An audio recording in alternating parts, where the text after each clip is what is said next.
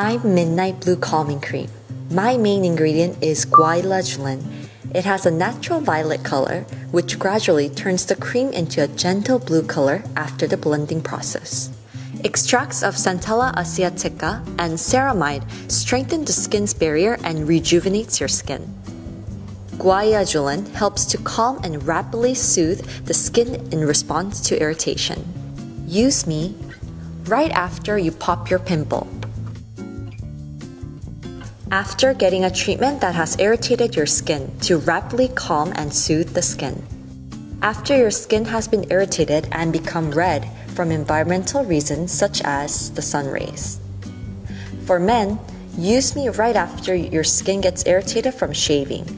It will help to calm your skin rapidly. At the last step of your skin routine, apply a small amount to areas of sensitive or irritation. Gently tap in to allow full absorption.